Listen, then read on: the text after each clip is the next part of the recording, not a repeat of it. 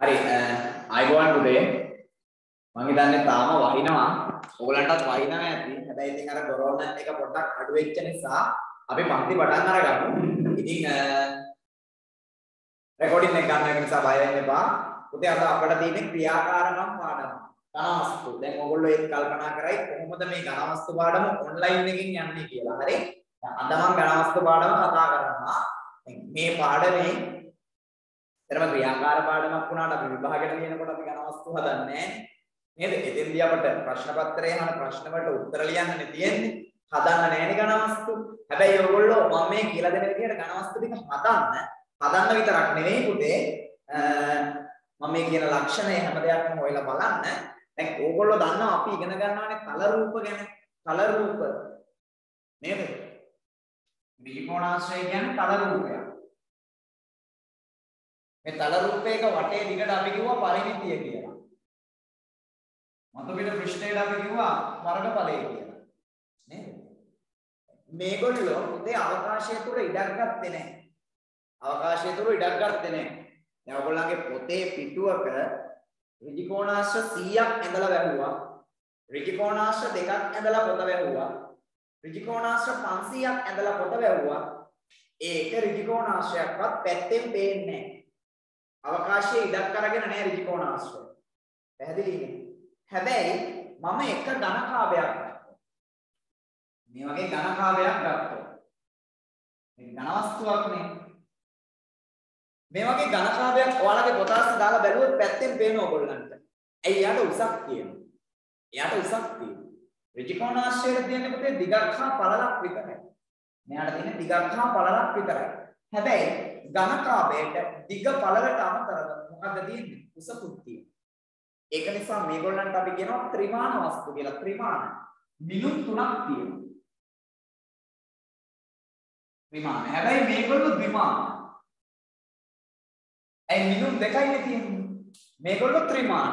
මොනවද මේගොල්ලන්ගේ තියෙන මිනුම් දෙක? දිග හා පළල විතරයි. මේගොල්ලන්ගේ දිග හා පළලට අමතරව උසකුත් තියෙනවා. අන්න ඒක නිසා පුතේ මේගොල්ලෝ අවකාශයේ ඉඩක් ගන්නවා. මේගොල්ලන්ට තමයි අපි කියන්නේ මොනවද කියලාද? ඝන වස්තු කියලා. මේ ඝන වස්තු. මේගොල්ලන්ට කියන්නේ කල රූප කියලා. පැහැදිලිද? අපි ගත්තොත් පුතේ ඝන වස්තු. ඝන වස්තුවක පෘෂ්ඨයක් තියෙනවා. පෘෂ්ඨය කියන්නේ පුතේ මතු පිට. ඝන වස්තුවක පෘෂ්ඨයක් තියෙනවා. දැන් ඔයගොල්ලෝ ගොඩාක් අය වරද්ද ගන්න දැනක් තමයි ඔයගොල්ලන්ගෙන් ඇහුවොත් කවුරු හරි ඝන කාබේට පෘෂ්ඨ කීයක් තියෙනවද කියලා. ඔයගොල්ලෝ අහපු ගමන් කියන්නේ 6ක් තියෙනවා.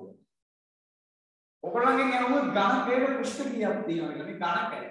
ඝනකය. මතක ඇති මේවා කලින් කතා කරලා තියෙනවා. අහපු ගමන් කියන්නේ ඝනකයේ පෘෂ්ඨ 6ක් තියෙනවා කියලා. චතුස්තලය පුංචි කාලේ හැදුවා 6 මාසෙකදී. අහපු ගමන් කියන්නේ පෘෂ්ඨ 4ක් තියෙනවා කියලා. ඉතින් වැරදි. පුතේ ඝනකාවයටත් තියෙන පෘෂ්ඨ එකයි.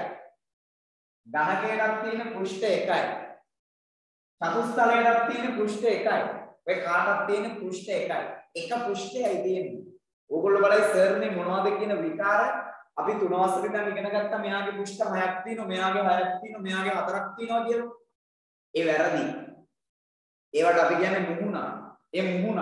මෙයාගේ මුහුණත් 6යි. ඒක හරි. මෙයාගේ මුහුණත් 6යි. ඒක හරි. මෙයාගේ මුහුණත් 4යි.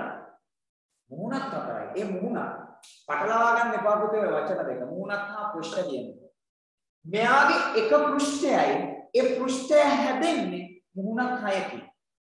මෙයාගේ එක පෘෂ්ඨයයි ඒ පෘෂ්ඨය හැදෙන්නේ මුහුණක් 6කින්. මෙයාගේ එක පෘෂ්ඨයයි ඒ පෘෂ්ඨය හැදෙන්නේ මුහුණක් 6කින්. මෙයාව ගැලෙවුවට පස්සේ පතරම එනවනේ. මේ පතරම අන්නේ පතරමේ තමයි මෙයාගේ සම්පූර්ණ පෘෂ්ඨය තියෙන තනි පෘෂ්ඨය. මෙයාගේ පතරමේ තමයි මේ පෘෂ්ඨය තියෙන්නේ. පතරම ගැලෙවුවම අපිට බලා ගන්න පුළුවන් මේ පෘෂ්ඨය හදන්න එකතු වෙච්ච මුහුණක්. මොන හැදේ මුහුණක්ද කියන එක. පතරම ගැලෙවුවම ඔයාලට බලා ගන්න පුළුවන්. නේද? ඒ නිසා වචන දෙක පටලවා ගන්න එපා මේ මුහුණක් හා පෘෂ්ඨ කියන එක. ඕනම ඝන වස්තුවක පුතේ පෘෂ්ඨ එකයි. ඒ පෘෂ්ඨය හැදිලා තියෙන්නේ මුහුණක් වෙන. අපි දන්නවා ඝන වස්තුවක මුහුණක් දෙකක් එකතු වෙන තැන තමයි තියෙන්නේ මොකද්ද? ධාරයක්. මුහුණක් දෙකක් එකතු වෙන තැනක් තැන තමයි ධාරයක් තියෙන්නේ ධාරයක්. දැන් මගේ මේ ඩස්ටර් එක ඝනකාවයක් වගේ නෙමෙයි ඝනකාවයක්. ඔයගලන්ට වෙන මේ මුහුණක් දෙකක් එකට එකතු වෙන තැන තමයි මේ ධාරයක් තියෙන්නේ. මේ ධාරයක් තියෙන්නේ. ඒ වගේම ධාර දෙකකට වඩා වැඩි ගණනක් එකතු වෙන තැන තමයි ශීර්ෂයක් තියෙන්නේ මුල්ලක් නේ. එතන ධාර තුනක් එකතු වෙලා තියෙනවා. ධාර තුනක්. ධාර එකකට වඩා වැඩි ගණනක් එකතු වෙන තැන තමයි මුල්ලක් එහෙම නැත්නම් ශීර්ෂයක් හැදෙන්නේ. හරි? එහෙනම් පුතේ ඔන්න ඔක තමයි මූලික ලක්ෂණ ටික ඝන වස්තුවක තියෙන්නේ. එතන මතක තියාගන්න තල රූප වගේ නෙමෙයි ඝන වස්තුව. දිගක් පළලක් හා උසක් තියෙන මිනුම් තුනක් තියෙනවා. ඒක නිසා අපි ඝන වස්තු වලට කියනවා ත්‍රිමාන වස්තු කියලා. ත්‍රිමාන. මිනුම් තුනක් තියෙන නිසා. ඝන වස්තුවක පෘෂ්ඨයයි තියෙන්නේ. ඒ පෘෂ්ඨය හැදිලා තියෙන්නේ මුහුණක්. පෘෂ්ඨ එකයි මුහුණක් තියෙනවා ගොඩක්. මුහුණත් දෙකක් එකට එකතු වෙන තැන තමයි පුතේ ධාරයක් තියෙන්නේ ධාරයක්. ධාර දෙකකට වඩා එකතු වෙන තැන තමයි මොකද්ද තියෙන්නේ? ශීර්ෂයක් තියෙන්නේ. ඔය ටික පටලවා ගන්න එපා. පැහැදිලිනේ? ලියන්න එනම්. මෙහෙම ලියන්න. දිගක් පළලක් හා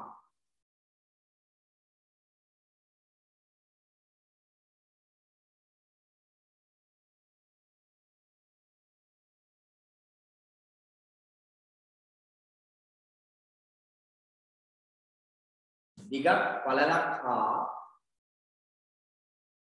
උසක් සහිත. දිගක් පළලක් හා උසක් සහිත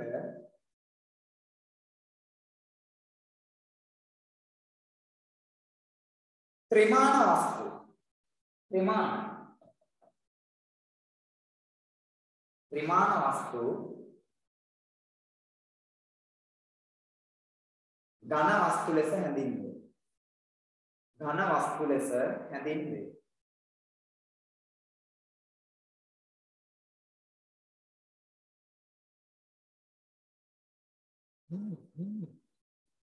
ඊළඟ රුලෙන් ලියන්න පුතේ. ඊළඟ රුලෙන් කරුවක් දාලා ලියන්න. ඝන වස්තුවක ඝන වස්තුවක පෘෂ්ඨය පෘෂ්ඨය ඝන වස්තුවක පෘෂ්ඨය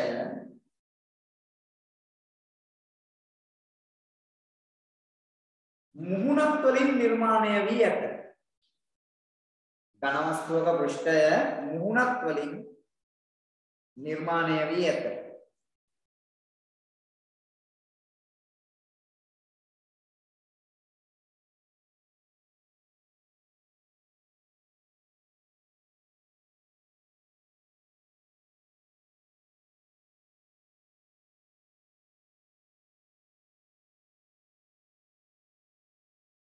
ඝන වස්තුවක පෘෂ්ඨය මුහුණක් වලින් නිර්මාණය වී ඇත.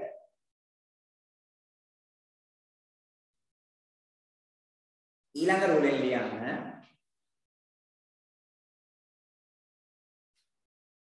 ඊළඟ රූලෙන් ලියන්න පුතේ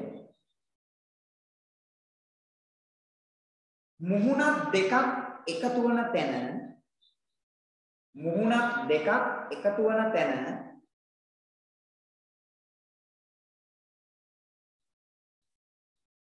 ධාරයක් නිර්මාණය වේ.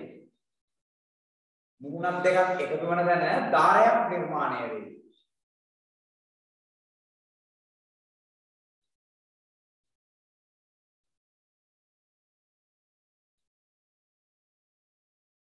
ඊළඟ රූලෙන් ලියන්න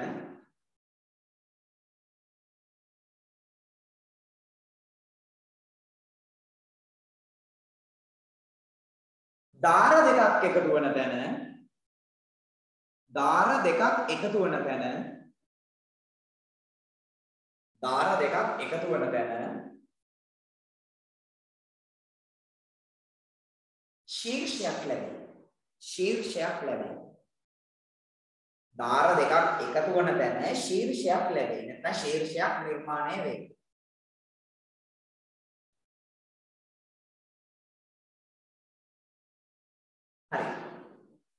හරි පුතේ. ඔන්න හොඳට අහන්න මම මේ කියපු දේ. ඒ ටික ලියාගත්තනේ. මම කතා කරානේ. හරි? ඔය ටික සාමාන්‍ය කියන්නේ ඝන වස්තු වල පොදු ලක්ෂණ ටික තමයි මම ඔය කතා කරන්නේ. හරි? දැන් ඊට පස්සේ අපිට එක එක ඝන වස්තු ගැන කතා කරන්න ඕනේ. ඇත්තටම මේ පාඩම හරි ලේසි. මොකද මේ කතා කරන ඝන වස්තු ඕගොල්ලෝ 3 4 5 පන්තිවලදී හදලා තියෙන ඕගොල්ලන්ගේ අතින්. ඕගොල්ලන්ගේ අතින් හදලා තියෙන නිර්මාණය කරලා තියෙන මේ කතා කරන ඝන වස්තු. ඕගොල්ලෝ 6 වසරේදී කතා කරා ඝන වස්තු 3ක් ගැන. ඕගොල්ලෝ 6 වසරේදී කතා කරේ මෙන්න මේ අය. කවුද? ධනකය ගැන කතා කරා.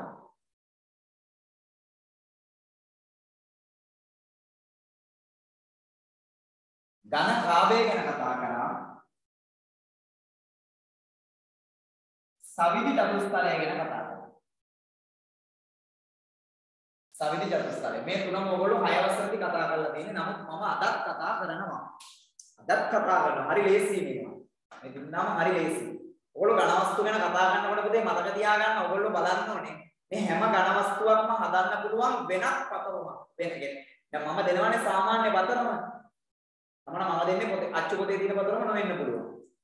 ඕගොල්ලන්ට ඊටත් වඩා වෙනස් පතරමක් අදින්න පුළුවන්. ඒක නිසා මේ හැම ඝන වස්තුවක්ම හදන වෙනත් පතරමක් තියෙනවා. අන්නේ වෙනත් පතරම ගැන එකක් නෙවෙයි සමහරකට ඝනකය කියන එක නම් හදන්න පතරම් පහක් හයක් යොදා ගන්න පුළුවන්. ඕන එකදී. හරි?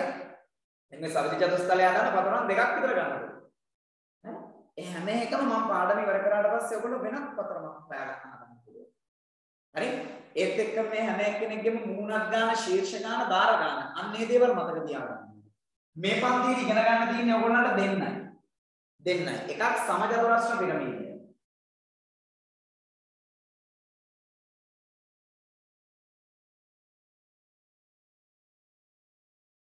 සමජතුරස්‍ර පිරමීඩය.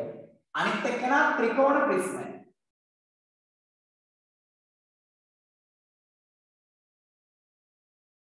ත්‍රිකෝණ ප්‍රිස්මය. මෙන්න මේ ඝන වස්තු පහ විතරයි පුතේ ඔයගොල්ලන්ට තියෙන්නේ.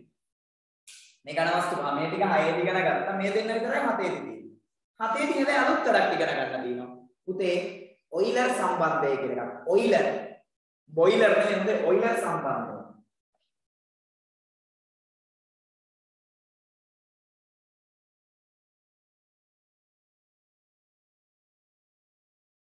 හරි ලේසි.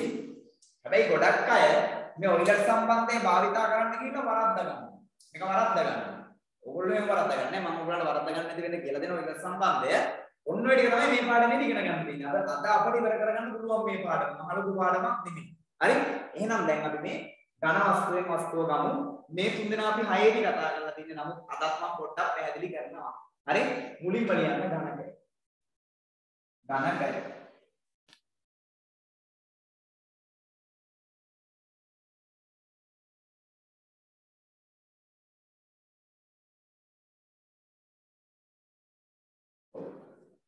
සමහර ළමයි ඉන්නවා පුතේ තාමත් හරියට ගණකේ ඇඳගන්න බැරි ළමයි. සමහර ඉන්නවා තාමත් බෑ ගණකේ හරියට ඇඳගන්න. හරි? දැන් හතවසරනේ. පුළුවන් ඉන්නවනේ ඇඳ ගන්නවා මම ඇඳලා පෙන්නනවා. ගණකය දැන් ත්‍රිමාන බෙනුම මෙන්න මෙහෙම ඇඳ මේ වගේ සමචතුරස්‍රය. මේක සමචතුරස්‍රය. මේ සමචතුරස්‍රයට ඉහළින් දකුණු පැත්තට වෙන්න මේ වගේම තවත් සමචතුරස්‍රයක් ගන්න. මේ වගේම කියන්නේ පාදයක දිග මේ විදිහට තියෙන තවත් සමචතුරස්‍රයක් ගන්න. ඊට පස්සේ මෙන්න මේ ශීර්ෂය මේ ශීර්ෂ දෙක යන්න. ඔන්න ගන්නකේ. ඕක තමයි ගන්නකේ. හරි? දැන් ඕගොල්ලන්ට මෙන්න මේ රේඛා ඇත්තටම ගණකේ ගත්තොත් මේ ටික පේන්නේ මේ ටික එහා පැත්තේ තියෙන්නේ. ඒ ඔන්න වගේ කැඩීරි වලින් දක්වන්න පුළුවන්. එහෙමත් නැත්නම් තවත් විදියක් තියෙනවා. මෙන්න මෙහෙම. මෙහෙම යන සමජතුරස්‍රය. ඔය සමජතුරස්‍රයක් යනවා. දැන් අපි හිතමු මේ සමජතුරස්‍රය අදිද්දී ඔයා මේ පාදය මෙන්න මේ පාදය වෙනකොට කොටු පහක් ගත්තා කියලා. කොටු පහක්. එන කොටු පහක් තියෙනවා. ඔයා මොකද්ද කරන්නේ පුතේ මීට ඉහළින්. මීට පොඩ්ඩක් කොටු දෙකක් විතර ඉහළින්. දකුණු අත පැත්තට වෙන්න මේ හරියෙන් පටන් අරගෙන අදිනවා තවත් කොටු පහක් දිග රේඛාව. දැන් මේ දිගම තමයි මේක තියෙන්නේ. හැබැයි ඉහළින් පොඩ්ඩක් දකුණු අත පැත්තට වෙන්න තියෙන්නේ. ඊට පස්සේ මෙන්න මේ රේඛාව තියෙනවනේ. දැන් මෙයක් කොටු පහයිනේ. මේ මුල්ලෙන් පටන් අරන් කොටු පහක් පල්ලෙහාට. කොටු පහක්. දැන් ඔයගොල්ලෝ කියනවා මෙන්න මේ රේඛා දෙක වගේම රේඛා දෙකක් තමයි මෙන්න මේ දිග තියෙන්නේ. ඒ දිගම තියෙන්නේ. ඊට පස්සේ මේ මුල්ලට මේ මුල්ල මේ මුල්ලට මේ මුල්ල මේ මුල්ලට මේ මුල්ල යනවා. ඔන්න ගණක. ඒ කොහොමද හරි. ගොඩාක් අය කරන වැරද්ද තමයි මේක අදින මෙන්න මෙතෙන්ට. මෙන්න මෙහෙම. වැරදි නේ වුණාම නිකන් මොකක්ද වගේ. හරි? මෙහෙම තමයි තියෙන්නේ. ඔක දැන් උදේ ගණක. පැහැදිලිනේ? හරි. ඊට පස්සේ ගණකේ පතරම ගත්තොත් උදේ සාමාන්‍ය අපි හැමෝම භාවිතා කරන පතරම අදින්න මෙන්න මෙහෙම.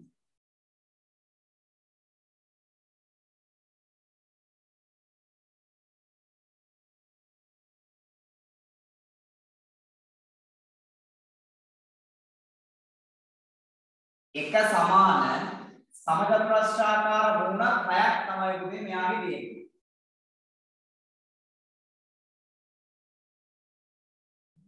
එක සමාන සමචතුරස්‍රාකාර මුණක් හයක්. ඇලවුම් මාසි ගත්තොත් මේ ඇලවුම් මාසි දැන් පතර මාසින් ගිහුවම ඇලවුම් මාසි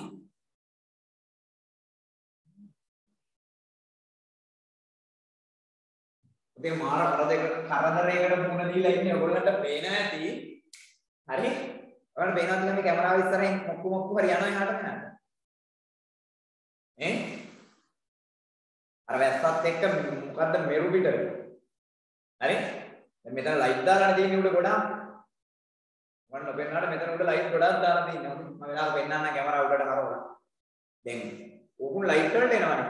මෙතන උඩ දැන් කැරගෙන ඕගා. ලයිට් වලට අහුවෙලා පිච්චිලා මෙතන බිමට වැටෙනවා. මගේ කමින් දැන් හැම තැනම වැටෙනවා. හරි? ඒක නිසා මේ මාර වැඩ හිටි ගමන් අපි දෙහත් අතර වැටෙනවා. හරි? අවන්නේ අපි අහන්නේ. මේ මේක නිකන් බිම දැන් මේ මෙර ගොඩාක් ඉන්නවා. හරි? දැන් ඔයාලා දන්නේ මෙතකොට මේ දෙක ගිහිල්ලා මේ දෙක යනවා. නේද? මේ දෙපැත්ත ඇලෙන්න මට මෙහෙම ඇලවුම් මාස් දෙකක් මෙතන තියන්න පුළුවන්. මේ ඇලවුම් මාස් තියෙන විදිය මෙහෙම වෙන්න ඕනේ කියලා අනිවාර්ය නැහැ. මේ ඇලවුම් මාස් තියෙන විදිය මේ විදියම වෙන්න ඕනේ කියලා අනිවාර්ය නැහැ. එහෙම නැහැ. ඒක නිසා ගැටලුවක් නැහැ. මේ දෙකෙත් මේ වගේ ඇලවුම් මාස් දෙකක් තියන්න පුළුවන්. ඔන්න ගණක. නේද? ගණකයෙන්ද මෙයාගේ මූණත් ගාන ශීර්ෂ ගාන දාර ගාන ලියන්න. හරි ඉක්මන් කරන්න බලන්න. ඉක්මන් කළා ගණකයෙන්ද මූණත් ගාන ශීර්ෂ ගාන දාර ගාන ගණකයෙන්ද පතරමෙන්ද මූණ ශීර්ෂ දාර ගාන ලියන්න. ඉක්මන් කරන්න හොඳේ වෙලාව ගන්න එපා.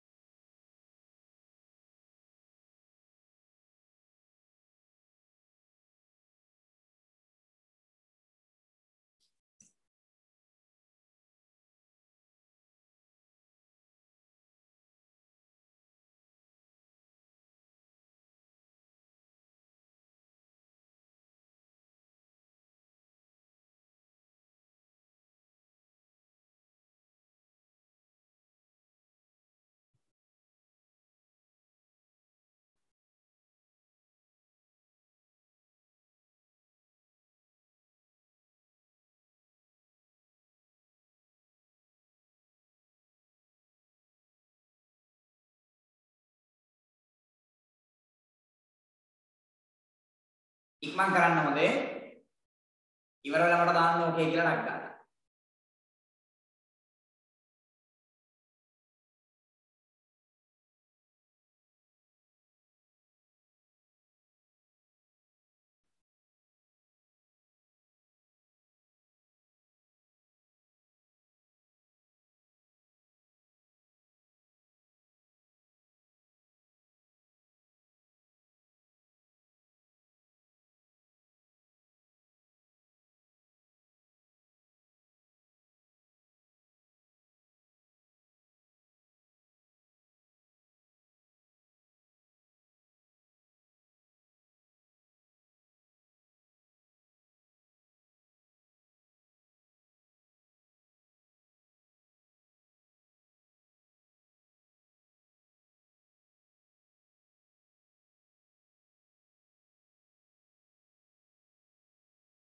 හරි.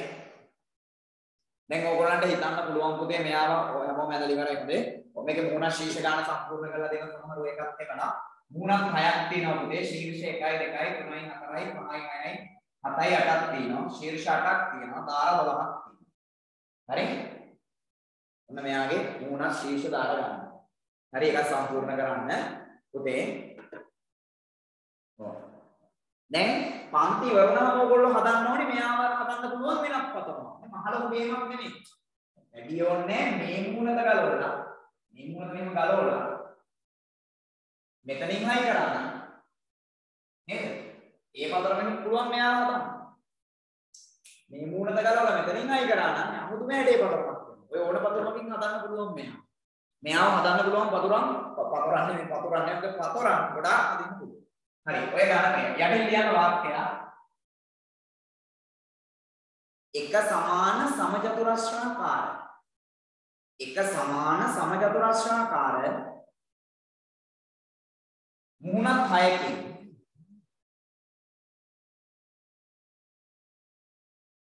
එක සමාන සමචතුරස්‍රාකාර මුහුණත් හයකින් එක සමාන සමචතුරස්‍රාකාර මුහුණත් හයකින් ඝනකය නිර්මාණය වී ඇත.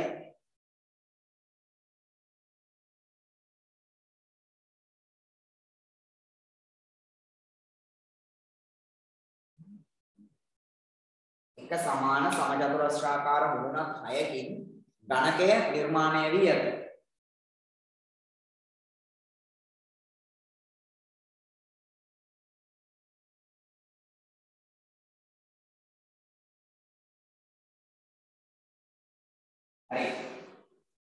හරි පුතේ. දැන් මේ ඝනකයනේ. දැන් ඊළඟට අපි කතා කරන්නේ ඝන කාභය. ඝන කාභය. ඔන්න බලා ඉන්න හොඳට අඳින විදිය. මම විදි දෙකක් තියෙනවා දෙකම පැහැදිලි කරන්න. එන්ද මෙහෙම ත්‍රිකෝණාශ්‍රය.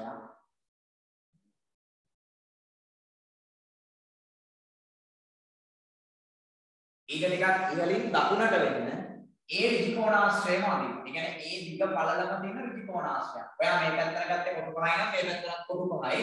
මේ පැත්තට කොටු හතයි නම් ගත්තේ පළල පැත්තට කොටු හතයි. ඔන්න එහෙනම්. ඊට පස්සේ මේ ශීර්ෂ මේ විදිහට යා කරනවා. මේ විදිහට යා කරනවා. ඔච්චරයි.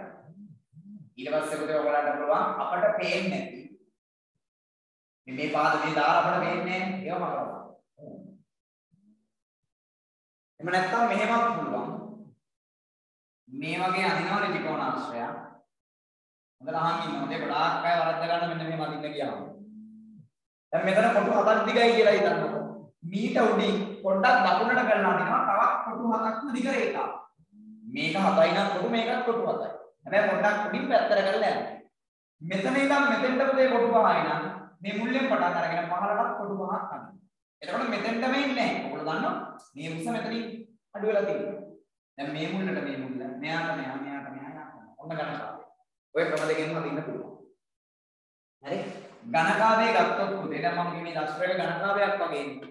මෙයා ගණකාවයක් වගේ. කියන්න බලන්න මෙයාගේ එක සමාන මුහුණක් කීය ගානේ තියෙනවද? එක සමාන මුහුණක් කීය ගානේ තියෙනවද?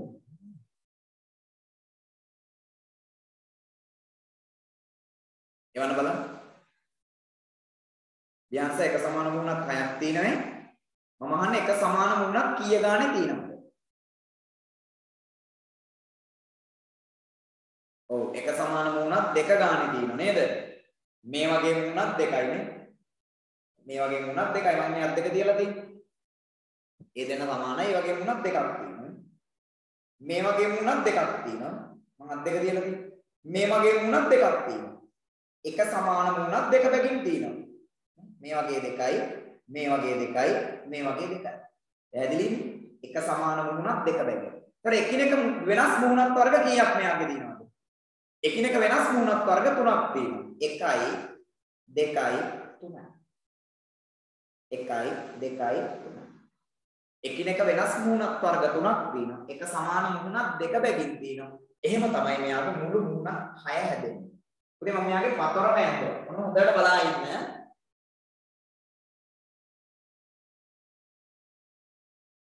මේ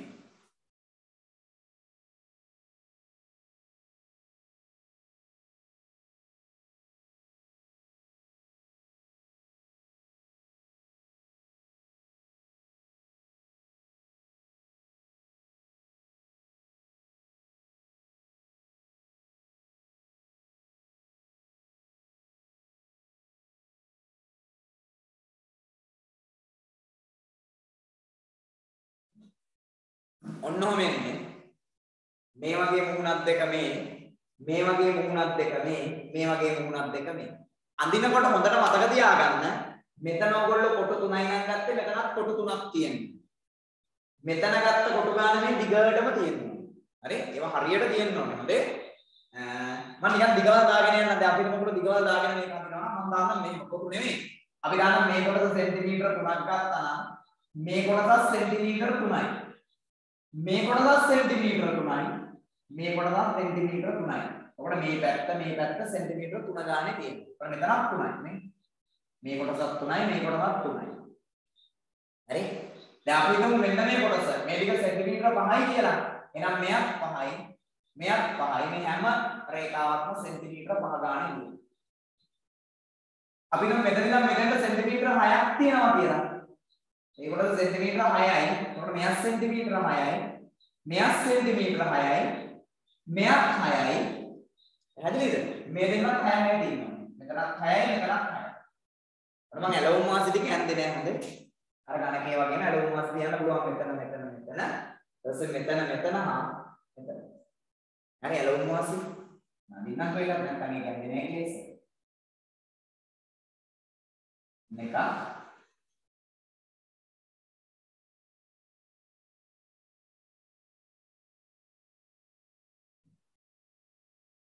හරි දැන් මේක අඳින්න ඉක්මනට.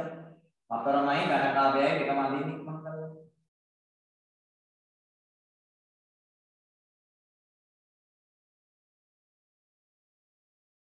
අයි මේ දෙක තියන රූපස් දෙක හොඳේ?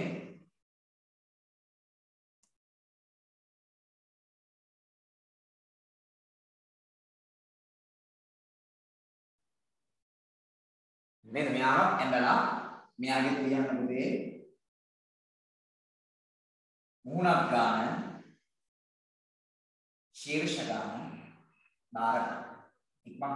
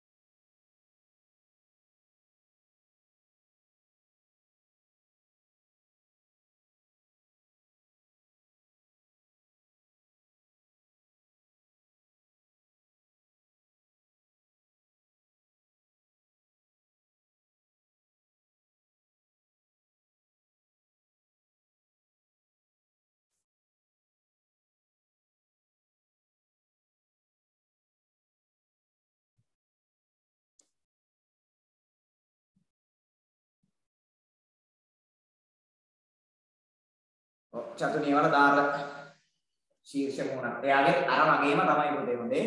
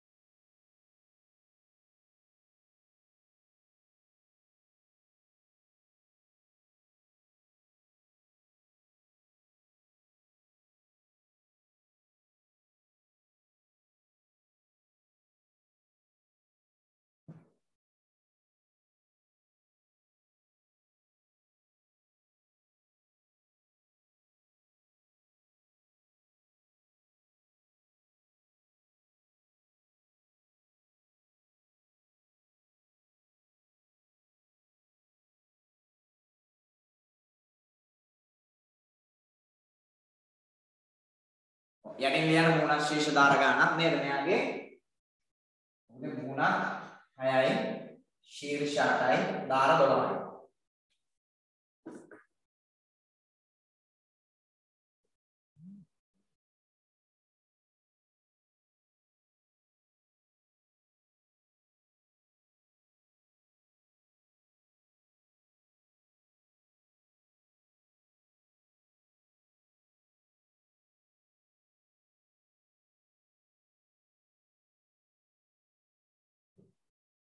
Eh.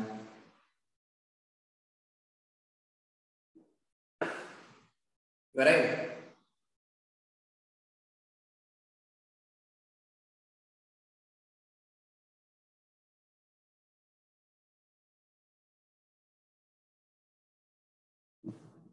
දැන් ලියන්න පුතේ සවිදි චතුස්තලය ඉක්මන් කරන්න. සවිදි චතුස්තලය ආ හෝ මෙයාගේට වාක්‍යයක් ලියන්න ඕනේ පොඩ්ඩක් කියන. මෙයාගේට වාක්‍යයක් ලියන්න. මෙහෙම වාක්‍යයක්. එක සමාන මුහුණක් දෙක බැගින් එක සමාන මුහුණක් දෙක බැගින්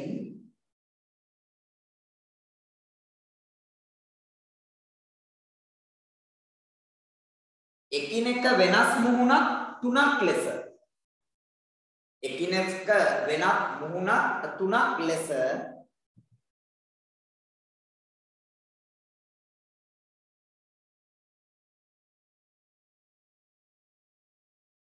මුහුණක් 6කින් මුහුණක් 6කින්